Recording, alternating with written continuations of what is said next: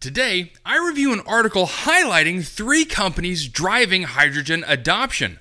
Who are they, and why should we take notice? I'll go over all of this on today's Hydrogen Podcast. Okay, I'm going to actually skip the intro today so we can listen to a quick word from the sponsor of today's podcast. From water electrolyzers to flow batteries and fuel cells, Nafion proton exchange membranes play a major role in advancing the hydrogen economy.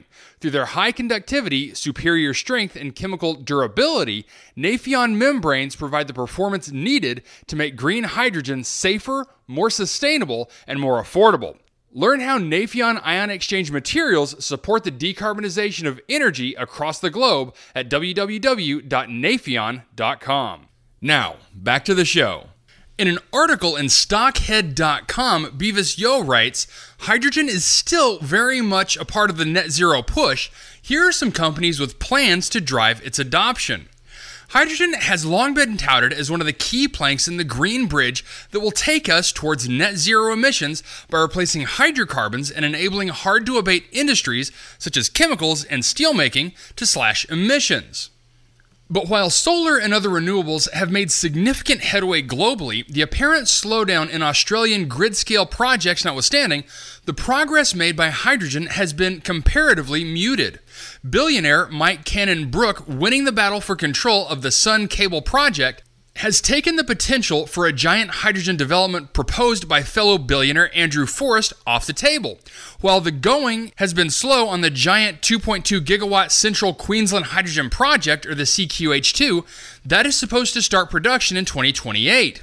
Other sizable projects, such as the Western Green Hydrogen Hub and the Australian Renewable Energy Hub, are also some time away from becoming reality. That's not to say that no progress has been made. The Australian federal government and South Australian government recently committed to providing the Port Bonython hydrogen hub near Whyalla, South Australia, with a total of $100 million in funding, whilst the NSW state government agreed to pony up $45 million for Origin Energy's Hunter Valley Hydrogen Hub on Kooragang Island. However, junior ASX companies operating in the hydrogen space believe that the key towards building a hydrogen ecosystem is take what is essentially a bottom up approach, first building up local demand for the green gas before expanding to greater things such as export. Speaking to Stockhead, Pure Hydrogen Managing Director Scott Brown expressed his belief that large scale adoption of hydrogen would occur in heavy transport, buses, shipping, and possibly aviation. He's quoted as saying, While battery electric is good for certain areas, particularly smaller applications like passenger cars, once you start carrying big loads, it's very difficult to power up a big truck, and that's where the hydrogen comes in. Effectively, you can still run on an electric platform and have all the advantages that platform offers. The hydrogen and the fuel cell will essentially generate the electricity for you. It just extends the range or grants more power to do things. He also says a good example will be something like a garbage truck, which needs to travel around, pick up garbage bins at every household, and then compact it. The arm and compactor use a lot of energy, which is very difficult to do if you're using batteries. All of the trials that we've done using batteries in Australia have failed. He also says a hydrogen fuel cell will give it much more power and be able to cart the truck around and perform those tasks. Brown also believes that pure hydrogen has the right approach towards succeeding in the hydrogen space, and that's by providing customized solutions to customers. He continues by saying, We have solutions we can offer large corporates, the top 500 local and state governments, and depending on what their requirements are, we can cater and tailor for the specific requirements of the customer. The good thing is when you sell a truck or bus, inevitably people want to know that they can get hydrogen to power them and provide maintenance we can supply both the hydrogen and the maintenance. Besides offering a range of hydrogen fuel cell trucks and buses, the company also has plans to produce hydrogen using its methane pyrolysis technology that will decompose methane into hydrogen and solid carbon without any carbon dioxide emissions. Brown also added, just like McDonald's have a value meal, we have a value meal for hydrogen products.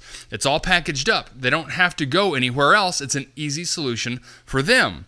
And this approach certainly seems to be paying dividends for the company. In the last couple of months, it has executed a term sheet with waste management company Solo Resource Recovery for the supply of an HFC powered waste collection vehicle for a six month trial, adding to a previous trial agreement with JJ Richards Waste. And Brown believes that the hydrogen sector is poised to grow exponentially. He says, You are already seeing plants going in. He says he thinks next year they hope to have their own production of hydrogen. Then a lot of other players in the industry are also talking about having production. He says that they have trucks and buses that are available now, people can order them, and they will certainly be in use in Australia. He also adds, You will see a lot more of them next year, and then it will snowball once people start accepting that this is a good way of doing it. Not just reducing your emissions, but also benefiting from a number of very good attributes.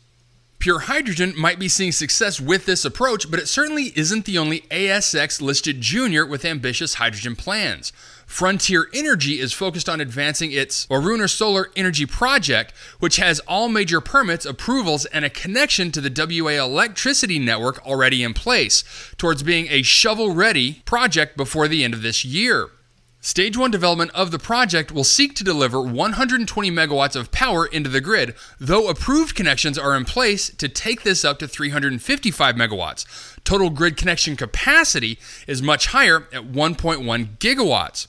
However, the company also has plans to make a splash in the hydrogen sector with a study underway into the development of a peaking plant that will be the first consumer of green hydrogen production proposed under its definitive feasibility study. The DFS has proposed the construction of a 72 megawatt electrolyzer and 36 megawatt building blocks that would fully use the quantum of energy produced by the solar farm. Hydrogen produced when the sun is strongest and when the wholesale energy prices are at the lowest could be stored and used in the peaking plant when demand for electricity is at its highest and when the realized price tends to also be the highest.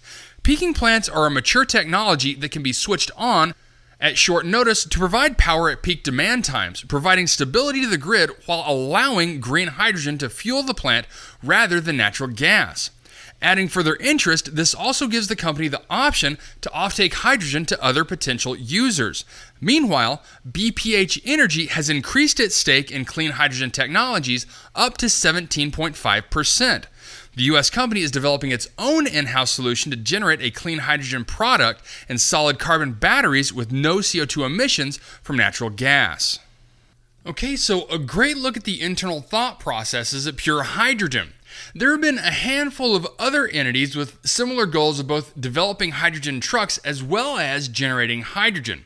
Nikola comes to mind with Hyla. I think this is a great strategy to drive both supply and demand while de risking capital that may be leery of jumping into the hydrogen game out of hydrogen supply issues. But to me, what really drives the point in this article are the quotes from Scott Brown as to why hydrogen is the best answer, at least in terms of garbage trucks. The added work these vehicles have to do on a daily basis, on top of driving, just highlights the necessity to transition to hydrogen fuel cell power. Along with that thought process, their insight into how to provide different solutions for a wide variety of customers is just another avenue to de risk these projects. And these de risking pathways have led to two six month trials. Now, you may not think that two trials, may not be that big of a deal. These processes take time to develop with multiple hurdles to clear on the regulatory checklist for garbage trucks. Along with that is locking down long term trials, of which they now have two. And I would be willing to bet that there are several more coming in the near future. The other two companies briefly covered in the article, Frontier Energy and BPH Energy, are definitely two operators that deserve attention.